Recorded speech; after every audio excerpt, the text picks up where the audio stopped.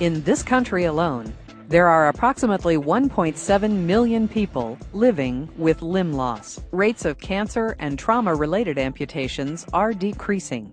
However, amputations due to complications of the vascular system continue to increase. Ask the Specialist was on location with Dr. Jihad Mustapha at Metro Health Hospital in Grand Rapids, Michigan. Dr. Mustapha has made saving limbs his number one priority. One of my messages that I really am passionate about and want to get out there is limb salvage. I want every physician that does peripheral vascular disease to focus on that someday. I want them to start paying more attention to saving a limb, even if it takes two, three hours of their time, even if they have to do it over and over again. Uh, the data supports the fact that you need to keep those limbs on. Now, if it gets to a point that there's nothing you can do, fine. If you, you know, when you get there, you deal with that. But I am sure with today's technology and technical skills that a lot of the physicians out there have, you can save a limb. Coronary artery disease refers to plaque buildup that causes blockages in arteries of the heart. This same disease can affect all blood vessels, not just the vessels that feed the heart and brain. Blockages in blood vessels of the arms, legs, feet, and organs like the kidneys are referred to as peripheral vascular disease and have the same risk factors. The diabetes factor has played a major role in increasing the risk of coronary artery disease.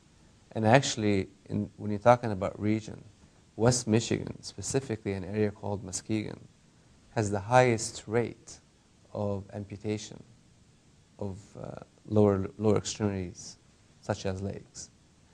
Uh, that goes along with a high incidence of coronary artery disease.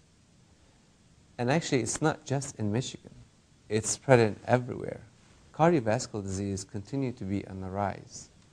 And uh, it's been related to multiple factors, aging population, sedentary lifestyle, not eating appropriately, lack of exercise, some related to depression. So there's multiple factors. He's been struggling with this for a while, and it's extremely painful to touch. And you can see here he's got an ulcer in his heel. As plaque builds up in arteries, it reduces and sometimes completely blocks blood flow to vital areas. When blood flow is restricted, limbs and organs die.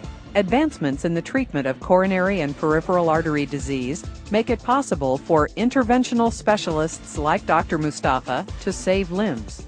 Martha's been struggling with her peripheral vascular disease for a long period of time. When we met her, her foot here was very diseased and she didn't have any flow from this point down, any straight flow. She had to total occlusion of her vessels here. So the first time we met her, we spent a long period of time to open one vessel, totally occluded vessel, that allowed nice brisk flow into her foot. I want you to see here, now it's bleeding. That's a good sign. And this was extremely open, not healed ulcer. And this considering, this is looking good. It's healing here very well. And granulation tissue is looking very good. So now the second stage of the therapy for her, we're going to go back in and open a second vessel. Uh, and now she'll have two vessels run off to the foot, which will allow us to, to provide for her complete blood flow and this will continue to heal. Martha's come a long way, and she's done a great job. She's healed really well, and uh, these are the kind of cases that makes it worthwhile.